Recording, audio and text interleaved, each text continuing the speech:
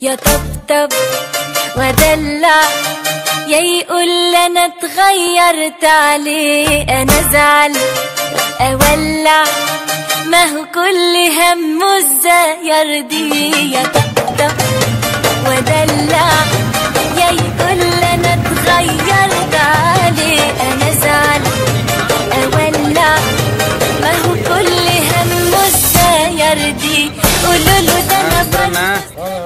வணக்கம். எனக்கு நம்ம நம்ம சேனல்ல உங்களை இன்டர்வியூ எடுத்த பிறகு வேற எத்தனை பேர் யாராச்சும் வந்து பார்த்தாங்களா? நம்பர் கொடுத்தா கண்டிப்பா பார்ப்பாங்க. வந்து எண்ணெயில பிடிப்பாங்க. அதோட பிரச்சனை இல்லை. ரொம்ப நல்லா உட்காந்து பொது நலத்தோட அன்றாட பிரச்சனைக்காக நான் உட்காந்துக்கிறேன். என்னோட பிரச்சனைக்காக யாரையும் எனக்கு ஆக மாட்டாங்க. ஒண்ணும் கேட்க மாட்டேன் விஷயம் அவங்க அவங்க ஏதாவது ஒரு திடீர்னு என்ன விஷயம்னா இந்த தேவை வந்து கண்டிப்பா இருக்குது அவர் துணி தைக்கணும்னா கண்டிப்பா என்கிட்ட வந்தானே அவன பெரிய கடையில் போய் தைக்க ஆமா. நான் தைக்கிறதுலாம். இப்ப தவ இப்ப உலகத்தில் நடக்கிற பிரச்சனைகளை பத்தி என்ன நினைக்கிறீங்க? இப்ப என்ன பிரச்சனைன்னு பாத்தீங்கன்னா இந்த ஏபிவிபி பசங்க பிஜேபி பசங்க இதெல்லாம் பிரச்சனை கிடையாது. அது வந்து தினைக்கும் இருக்கும் போவோம் இப்ப வந்து தக்காளி விலை ஏற போகுது பூண்டு விலை ஏற போகுது நீங்க நூல் கண்டு இருக்கு பாருங்க. அதோட விலையும் ஏற போகுது. ஏன்னு சொல்லுங்க? பெட்ரோல் விலை ஏற்றினா எல்லாத்தையும் ஏற்ற வேண்டியது. ஆ, அப்ப பெட்ரோல் விலை ஏன் ஏறும்? ஏன் ஏறுனா ஈரானுடைய ராணுவ தளபதி அபி காசிம் சுலைமானின்னு ஒருத்தர். அவர் வந்து அமெரிக்க ராணுவம் வந்து கிளைடர் வச்சு சுட்டு அதாவது ராக்கெட் லாஞ்சர் வச்சு சுட்டு கொண்டுடுச்சு ஆறு பேர் ஸ்பாட்ல இறந்துட்டாங்க ஈராக்ல ஈராக்ல சுட்டு கொண்டிருக்காங்க ஆனா ஈரான் ராணுவ தளபதி அவர் இதனால வந்து அந்த நாடே வந்து தன்னுடைய ஹீரோவை இழந்துட்டு தான் ஒப்பாரி வைக்கிறாங்க ரொம்ப பார்க்கவே கஷ்டமா இருக்கு இது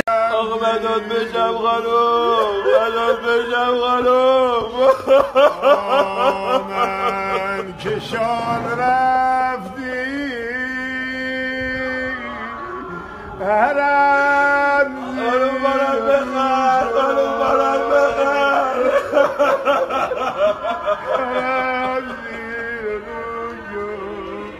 یه آقای کارگر چقدر اومد تو این حرم حاج به قاسم قرآن الان داشتم میگفتم پارسال همین ایام ولادت دم در دیدمش بغلش کردم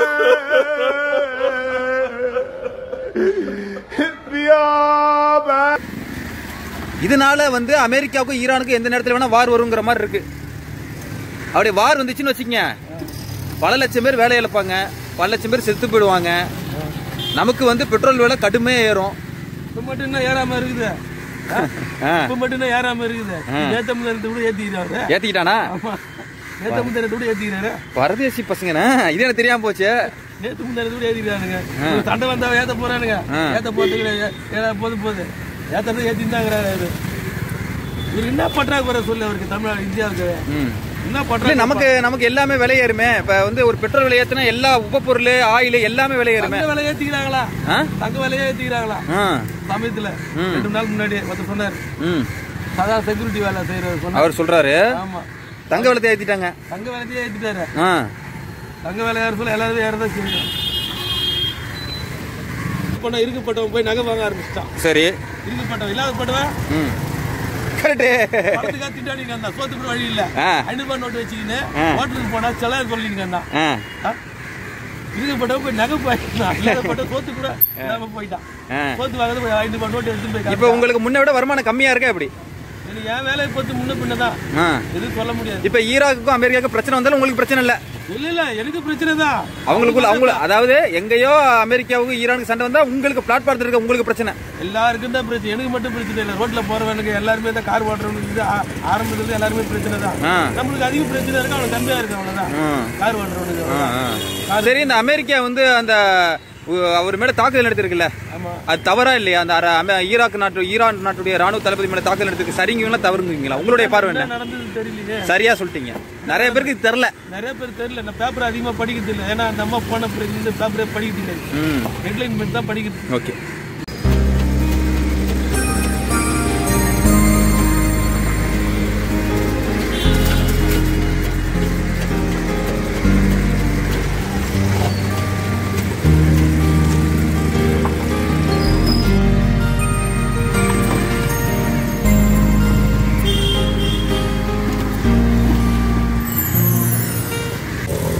ஈராக்குக்கும் அமெரிக்காவுக்கும் பிரச்சனை வந்ததுன்னா உங்களுக்கும் இழப்பு ஏற்படுங்கிறீங்க பொருளாதார ரீதியா? எல்லாருக்கும் பாதிப்பு தான். எல்லாருக்கும் பாதிப்பு தான். எனக்கு மட்டும் என்ன பாதிப்பு? நான் எனக்கு என்ன நூறுரூபா கட்சா நூறு ரூபாய் கட்சி நான் நினைச்சிப்பேன் அவனுக்கு இரநூறுபா கிடைக்கல ஆயிரம் ரூபாய் கிடைக்கல அவனுக்கு வருத்தம். வேற ஒன்றும் கிடையாது. எனக்கு பாதிப்பு தான். என் பையனுக்கு பெட்ரோல் போடுவோம்ல ஆ? வண்டி ஓட்டுறான்ல. சும்மா வா. அவனுக்கு பத்து ரூபா ஜாஸ்தியாக வேணுமே. அவன் என்ன பண்ணுவான்? ஓனர்கிட்ட தான் கேட்டு ஆகணும் வேலை செய்கிறத்துல நம்ம வரவங்க கிட்ட கேட்டு வாங்கி வேண்டியதுதான் அதையும் கேட்டானே என்ன ஒருத்தன்? பெட்ரோல் விலை ஏறி போச்சு அது நீ என்ன பெட்ரோலில் தைக்கிற? நான் கேட்டான் மட்டும். கேட்டானா? கேட்டான் மட்டும். தைக்க கூட விட மாட்டாங்க இல்ல புரிஞ்சுதான் பேசுறாங்க புரியாம பேசுறாங்க தெரியல. எனக்கு விலைவாசி ஏறி போச்சு சார் நான் சொல்றேன். உங்களுக்கு மட்டும் எப்படி? எனக்கு போனா கடையில போனா பத்து ரூபா பன்னெண்டு ரூபா தான் டீ சார். உங்களுக்கு மட்டும் கம்மியா இல்ல. எனக்கு பன்னெண்டு ரூபா தான் உங்களுக்கு பன்னெண்டு ரூபா தான். பஸ் ஏறினாதான் உனக்கு பன்னெண்டு ரூபா தான் எனக்கு பன்னெண்டு ரூபா தான். நான் ரோட்ல தைக்கிறேன்னு சொல்லிட்டு எனக்கு நான் டைலர் சொல்லிட்டு நான் பன்னெண்டு கம்மியாக ஆக போறாங்க. ஒன்றையும் கிடையாது. அதே சார் ஆட்டோவில் போனாலும் நீ உனக்கு பன்னெண்டு ரூபா தான் எனக்கு பன்னெண்டு ரூபா தான் எனக்கு இயல்பாக தான் இருக்கிறதுக்கு ரொம்ப பிடிக்கும்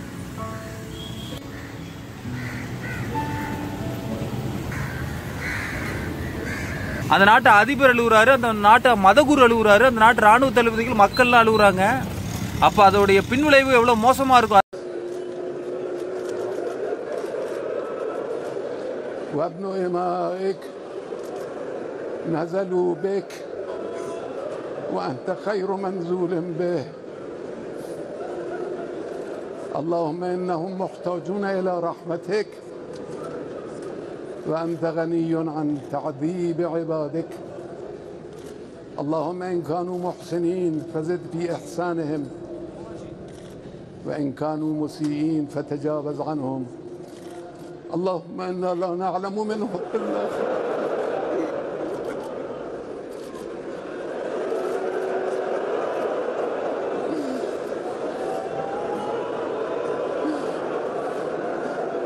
اللهم إنا لا نعلم منهم إلا خيرا اللهم إنا لا نعلم منهم إلا خيرا وأنت أعلم بنا من بهم منا اللهم صل على محمد وآل محمد அதனாலதான் சொல்றான் போர் நடந்ததுன்னா நமக்கு வந்து கண்டிப்பா வந்து பெட்ரோல் விலை ஏறும் எல்லாமே ஏறும் அங்க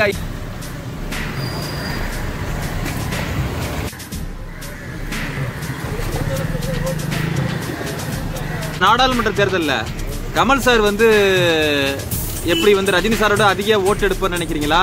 இல்ல ரஜினி சாருக்கு விட கீழே போவார்னு நினைக்கிறீங்களா? இது இல்ல ரெண்டு பேரையும் சீமான் சாப்பிட்டுருவார்னு நினைக்கிறீங்களா? சீமான்லாம் அவர் அவர் யாரும் கூட்டணி வச்சாதான் அவர் வருவார் சரி. தனிப்பட்ட முறையில எல்லாம் அவர் யாரும் கூட மாட்டாங்க சீமான்? ஆ. ஒத்துக்க மாட்டாங்க யார் கூட்டணி சேர்த்துக்க மாட்டாங்க ஆமா. என் தத்துவத்துக்கு எவன் கூட நிக்க முடியாது. சொல்லு. அப்படிங்க ஆமா கண்டிப்பா சொல்லுவேன். ஆமா அவர் சொல்றது சரிதானே? எவன் கூட வந்து அவர் ஒரு கூட்டணி வச்சுக்கிட்டு அவர் வந்து இது பண்ண முடியும்? பேச்சாளர் கரெக்டா பேசுறாரு ஒத்து வரல அவரு. ஆமா இந்த தேர்தலில் வந்து யார் கூடயும் கூட்டணி வைக்காம ஒரு அளவுக்கு வந்து நல்ல ஒரு மரியாதையான ஒரு இதுதான் கவுன்சிலர் ஊராட்சி மன்ற தலைவர்லாம் சில பேர் வந்திருக்காங்க.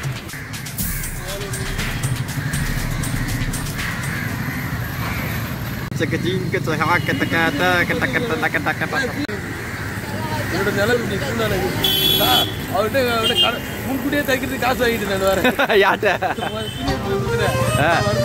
அப்புறம் துணி தைக்க வேண்டியது அதை தச்சு கழிச்சு காசு. அமெரிக்காவுக்கும் ஈரானுக்கும் சண்டை வந்து நமக்கு இது இதான் பிரச்சனை. இல்ல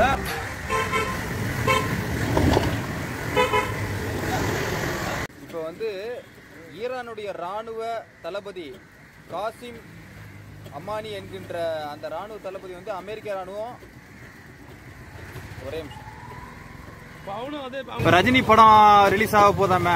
தர்பார். ஆமா ஆமா ஆனா அவர் வந்து என்னன்னா கொஞ்சமா ஆசைப்படுங்க கொஞ்சமா சாப்பிடுங்க கொஞ்சமா தூங்குங்க கொஞ்சமா பேசுங்க எல்லாம் சொன்னாரு. ஆமா ஆனா டிக்கெட் கொஞ்சமான விலைக்கு தர தரமாட்டாரு. ரெண்டாயிரம் ரூபாய் மூவாயிரம் ரூபாய்ங்கிறாங்க ஆமா லோக்கல் தேட்டர்ல படம் அதுக்கு தந்து பிரிண்ட் கிடையாது ஒரிஜினல் பிரிண்ட் கிடையாது. அதுக்கு தந்து வருமானத்தை வாங்கி வாங்கி ஓட்டுவானுங்க. ம். அவர் மட்டும் அதிகமா ஆசைப்பட்டு இருப்பாரு அவர் கோடி கணக்குல ம் ஆனா நம்மள கொஞ்சமா இருங்கிறாரா? ஆமா அவர் அட்வைஸ் நமக்கு தேவையில்லை. ம். நம்மளுக்கு தெரியாது நம்ம வருமானத்தை பத்தி எப்படி நான் நூறு ரூபாய் சம்பாதிச்சா நான் எப்படி செலவு பண்ணு நாளைக்கு வேணும்னு சொல்ல எனக்கு தெரியாது. அவர் சொல்லி நான் கேட்க போறேன்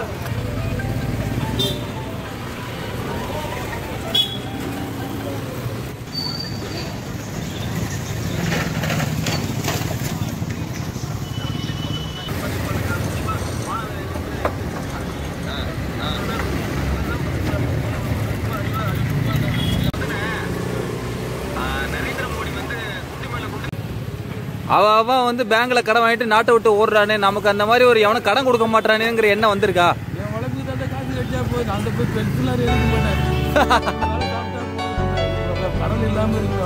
அப்படிங்கிறீங்க. இப்பதான் தெரிஞ்சு போச்சு. இது மாதிரி எங்க பறக்க போறது?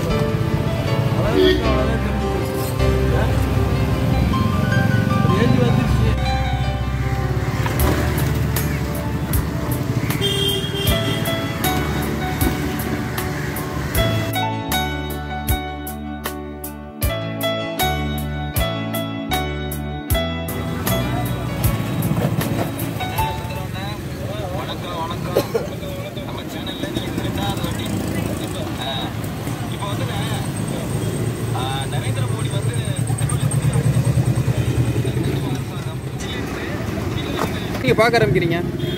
அராஜகம் பண்ண ஆரம்பிச்சுட்டானுங்க. மேல் இடத்துல இருந்து அராஜகன்றீங்க. கண்டிப்பா.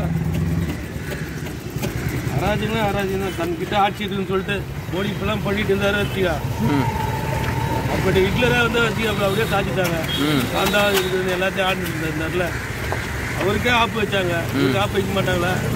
எப்படின்னா மக்கள் வந்து யோசனை பண்ணாம இருக்க மாட்டான் அவனுக்கு வந்து பத்து ரூபா கம்மி பண்ணதான் நினைப்பான்.